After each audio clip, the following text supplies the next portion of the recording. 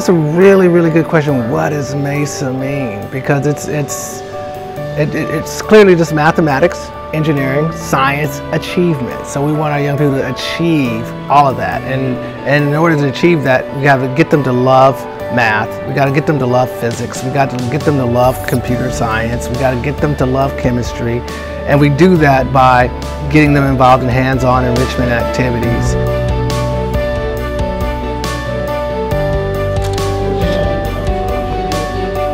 I have seen a tremendous amount of growth in our students when I think about the interactions that I have with our teachers and they tell me that they have students in their classes that don't want to be involved with regular classroom activities.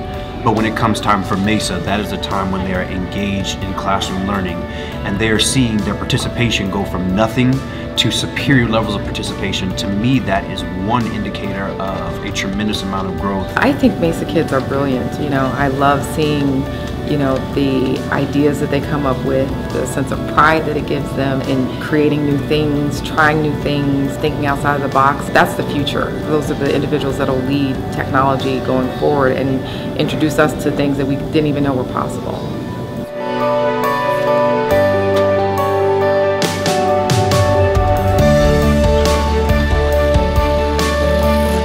It's the first club I really like poured a lot of my time into, so I feel like whenever I'm talking to someone and they ask, oh, what do you do at school, like MESA is the first thing that comes to my head. MESA to me is a program that taught me how to be an engineer.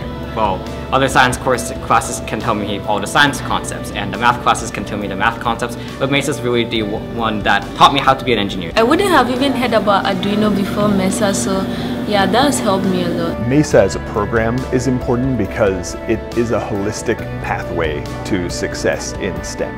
It's not enough just to provide an inspiring experience for students. It's not enough simply to provide academic help or training for teachers in order to provide that help. It's not enough to provide college readiness, uh, scholarships, and the like.